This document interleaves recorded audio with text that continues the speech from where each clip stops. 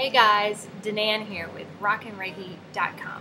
Today I just want to tell you the difference between a remote Reiki session and an in-person Reiki session. I know, it's pretty obvious the differences. I had both of those today and I just want to tell you how they were different.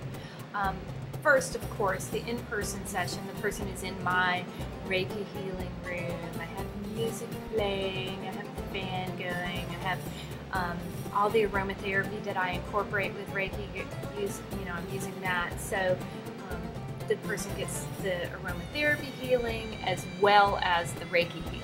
So it's a, kind of a double thing. And um, it's very relaxing. It lasts for between 45 minutes to an hour and a half, the in-person sessions. And um, it's a, a very good way for me to feel the energies, direct the energies, help align the chakras, and I do that with my hands over the person's body or in some places touching the person's body. My remote session today was totally different in that the person that I was working with was hundreds of miles away. And that uh, I just meditated and told that that person agreed to for a Reiki session and knew the time that I was doing the Reiki session. It lasted a little you know, there's less time. And um, when I'm in the, that deep meditation for a remote Reiki session, sometimes I feel the person's issues. So I felt shoulder pain and some other issues that person had that was totally new for me.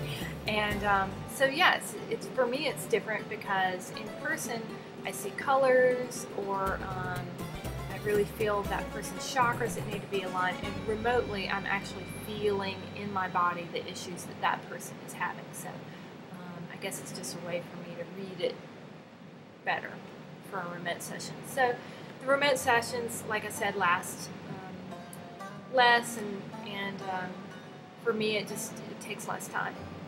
So that's the basic difference.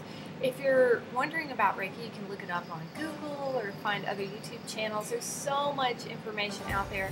It really works and it's a great way for us to heal each other. Okay, thanks. Mwah. Bye.